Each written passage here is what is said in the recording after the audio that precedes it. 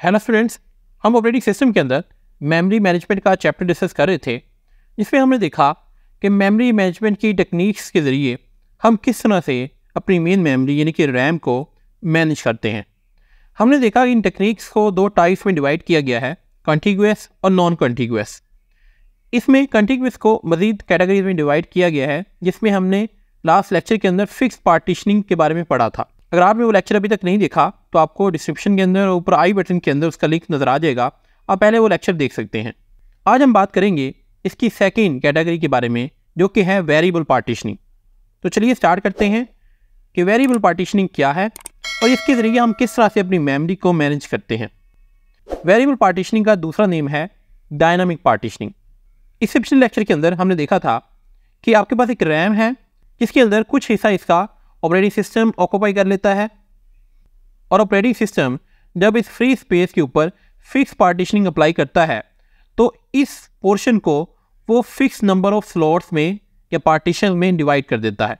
Four यहाँ पर operating system ने स्पेस को फोर पार्ट्स में डिवाइड कर दिया, यानी कि ज़ीरो वन टू और थ्री ये फोर पार्ट्स में ऑपरेटिंग सिस्टम ने इसको डिवाइड कर दिया।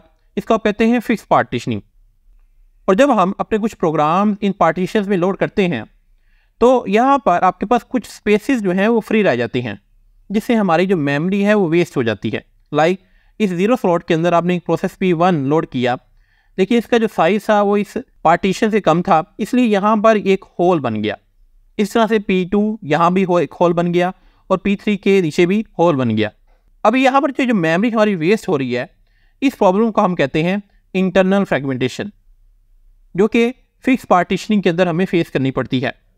इसी प्रॉब्लम को दूर करने के लिए वेरिएबल पार्टीशनिंग की टेक्निक इस्तेमाल की गई। इसमें वो कहते हैं number of partition are not fix इसमें हम रैम के अंदर नंबर ऑफ़ पार्टीशन को फिक्स नहीं करते। लाइक like ये आपके पास रैम है। अब यहाँ पर ये जो स्पेस अवेलेबल है, इसको हम डिवाइड नहीं करेंगे, बल्कि इसको ऐसे ही रहने देंगे और रन टाइम के ऊपर अपने प्रोसेसेस को मेमोरी एलोकेट करेंगे। लाइक like आपके पास एक प्रोसेस आया पी वन जिसका साइज़ है फोर एम बी तो मैं इस प्रोसेस पी वन को रैम के अंदर लोड कर दूँगा। और फिर इसको जितनी स्पेस चाहिए, यानी कि फोर एम इसको एलोकेट कर दूँगा। इस तरह से अगर एक प्रोसेस पी टू आता है, जिसका साइज़ है फाइव एम इसको भी मैं मेमोरी के अंदर लोड कर दूँगा और फिर इसको फाइव एम की जो मेमोरी है वो एलोकेट कर दूँगा।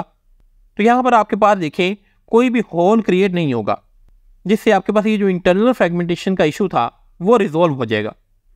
तो पहला बेनिफिट वेरिएबल पार्टीशनिंग का होता है नो इंटरनल फ्रेगमेंटेशन कि हमें कोई भी इंटरनल फ्रेगमेंटेशन फेस नहीं करनी पड़ती।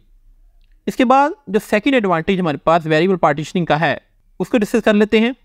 हमने देखा था कि फिक्स पार्टीशनिंग के अंदर हमें एक और इशू फेस आता है लिमिटेशन और नंबर ऑफ़ प्रोसेसेस कि हम लिमिटेड नंबर ऑफ़ प्रोसेसेस को अपनी मेमोरी के अंदर लोड कर सकते हैं। क्योंकि ऑपरेटिंग सिस्टम ने यहाँ पर अगर आप देखें, इसे फोर पार्ट्स में डिवाइड किया है। तो एक पार्ट के अंदर सिर्फ़ एक ही प्रोग्राम लोड हो सकता है। यानी कि यहाँ पर टोटल फोर प्रोसेसेस यहाँ पर हम लोड कर सकते हैं, जिससे हमारी मेमोरी के ऊपर एक लिमिट बन चुकी है। लेकिन यहाँ पर हमारे पास कोई भी लिमिट नहीं होती। सपोज़ अगर आपके पास प्रोसेसेस का साइज़ बड़ा है तो हो सकता है यहाँ पर चार प्रोसेसेस आ जाए। लेकिन ऐसा भी हो सकता है कि अगर आपके पास प्रोसेसेस छोटे हैं तो आपके पास यहाँ पर सेवन प्रोसेसेस आ जाएँ। यानी कि यहाँ पर कोई लिमिट नहीं है कि यहाँ पर सिर्फ़ चार ही प्रोसेसेस आ सकते हैं। लाइक अगर ये ही प्रोसेसेस सेम रैम के अंदर मैं फिक्स पार्टीशनिंग की टेक्निक में लोड करूँ तो मैं सिर्फ़ ये पहले चार को यहाँ पर लोड कर सकता हूँ। बाकी ये जो तीन है, ये मैं यहाँ पर लोड नहीं कर सकता, क्योंकि मेरे पास ये जो पार्टीशन हैं, ये ही चार हैं। चार से ज़्यादा यहाँ पर प्रोसेस लोड नहीं हो सकते। तो वेरी वेरिएबल पार्टीशनिंग के अंदर सेकेंड एडवांटेज आपके पास होता है। No limit on number of processes कि नंबर ऑफ़ प्रोसेसेस के ऊपर कोई भी लिमिट नहीं होती। इसके अलावा हमने देखा था कि फिक्स पार्टीशनिंग के अंदर हमें एक और प्रॉब्लम फेस करनी पड़ती है, और वो है प्रोसेस साइज़ लिमिटेशन कि यहाँ पर प्रोसेस का साइज़ भी लिमिटेड हम इस्तेमाल कर सकते हैं। लाइक like, अगर हमारे पास रैम 28 एट की है तो ये ऑपरेटिंग सिस्टम जब इन पार्टीशन को बनाएगा तो हर पार्टीशन को कोई ना कोई साइज़ भी एलोकेट करेगा। सपोज़ करते हैं कि इन पार्टीशन को जो साइज़ एलोकेट किए गए हैं वो कुछ यूँ हैं। Four M B six M B eight M B और टेन एम बी और आपके पास एक प्रोसेस आता है पी वन जिसका साइज़ है फोर्टीन एम बी अब क्या मैं इस प्रोसेस वन को इस रैम के अंदर लोड कर सकता हूँ? नहीं मैं इसको यहाँ पर लोड नहीं कर सकता क्योंकि मेरे पास कोई भी पार्टीशन ऐसी नहीं है जिसका साइज़ फोर्टीन एम या इससे ज़्यादा हो। तो यहाँ पर फिक्स पार्टीशनिंग के अंदर हमारे पास ये इशू था कि प्रोसेस का जो साइज़ है वो भी लिमिटेड होना चाहिए। अब यही चीज़ अगर हम डायनामिक पार्टीशन के अंदर इम्प्लीमेंट करें, अगर हम सेम रैम लें 28 एमबी की, और यहाँ पर आपके पास सेम प्रोसेस 14 एमबी का आए तो क्या मैं इसको यहाँ पर लोड कर सकता हूँ? जी हाँ कर सकता हूँ। मेरे पास 28 एम रैम मौजूद थी। मैंने इसमें से 14 एम एलोकेट कर दिए प्रोसेस वन को। तो यहाँ पर इट मीन्स आपके पास कोई भी साइज़ की लिमिट नहीं होती। हाँ ये इशू तो हो सकता है कि आपकी रैम का साइज़ छोटा हो और आपके प्रोसेस का साइज़ बड़ा हो। ये तो किसी भी जगह पर हो सकती है लाइक अगर आपके पास जी में रैम भी हो तब भी आपके पास ये प्रॉब्लम आ सकती है। लेकिन जिस तरह की लिमिटेशन यहाँ पर फिक्स पार्टीशनिंग के अंदर थी, इस तरह की लिमिटेशन हमारे पास डायनेमिक पार्टीशनिंग में नहीं होती। तो थर्ड एडवांटेज हमारे पास डायनेमिक पार्टीशनिंग का है no limitation on process size कि प्रोसेस साइज़ के ऊपर कोई लिमिट नहीं होती। तो ये तीन मेजर एडवांटेजेस से जो हमें वेरिएबल पार्टीशनिंग प्रोवाइड करती है। एडवांटेजेस के बाद हम इसका डिसएडवांटेज भी देख लेते हैं कि इसमें क्या प्रॉब्लम ऑकर होती है डायनेमिक पार्टीशनिंग के अंदर। सपोज़ करें ये आपके पास रैम है, जिसका साइज़ है ट्वेंटी एमबी अब यहाँ पर कुछ प्रोसेस हम यहाँ पर लोड करते हैं पी वन से लेकर पी फाइव तक। और इन प्रोसेस के जो साइज़ हैं, वो कुछ यूँ हैं। अब कुछ टाइम के बाद इनमें से कुछ प्रोसेस कंप्लीट हो जाएँगे। तो जब कोई प्रोसेस कंप्लीट होता है तो रैम से निकल जाता है। लाइक पी टू यहाँ पर कंप्लीट हो जाता है। तो यहाँ से पी टू निकल जाएगा। तो यहाँ पर हमारे पास एक होल बन जाएगा। इसी तरह से सपोज़ कुछ देर के बाद जो पी फोर है, वो भी कंप्लीट हो जाता है। तो यहाँ भी एक होल बन जाएगा। अब यहाँ पर ये थ्री एम और ये थ्री एम यानी कि टोटल सिक्स एम की स्पेस हमारे पास रैम के अंदर फ्री हो चुकी है।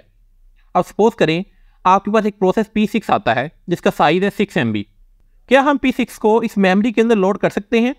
कि अगर हम ऐसा करें कि थ्री एमबी इसका यहाँ पर सेव कर दें और थ्री एम बी यहाँ पर लोड कर दें। नहीं, हम ऐसा नहीं कर सकते, क्योंकि हम बात कर रहे हैं कंटिन्यूस एलोकेशन की। याद हो तो हमने स्टार्ट में देखा था कि जो वेरियल पार्टीशनिंग है, ये है टाइप कंटिन्यूस एलोकेशन की। और कंटिन्यूस एलोकेशन में हमने देखा था कि आपने इस प्रोसेस पूरे को एक ही जगह पर स्टोर करवाना होता है। आप डिफरेंट प्लेसेस पे इसको स्टोर नहीं करवा सकते। तो यहाँ पर हमारे पास स्पेस अवेलेबल है। यानी कि सिक्स एम की मेमोरी के अंदर स्पेस अवेलेबल है, लेकिन ये सिक्स एम का प्रोसेस है, वो हम यहाँ पर लोड नहीं कर सकते। इस प्रॉब्लम को हम कहते हैं एक्सटर्नल फ्रेगमेंटेशन बहुत इंपॉर्टेंट कॉन्सेप्ट है, अक्सर एग्ज़ाम के अंदर पूछा जाता है कि एक्सटर्नल फ्रेगमेंटेशन कब क्रिएट होती है या किस टेक्निक में क्रिएट होती है। तो एक्सटर्नल फ्रेगमेंटेशन हमें वेरियल पार्टीशनिंग के अंदर फेस करनी पड़ती है। और एक और कॉन्सेप्ट हमारे पास होता है इंटरनल फ्रेगमेंटेशन का, जो हमने लास्ट लेक्चर के अंदर डिस्कस किया था। जो आपकी क्रिएट होती है फिक्स पार्टीशनिंग के अंदर। तो आपको ये पॉइंट क्लियर होना चाहिए कि इंटरनल फ्रेगमेंटेशन और एक्सटर्नल फ्रेगमेंटेशन में डिफरेंस क्या है।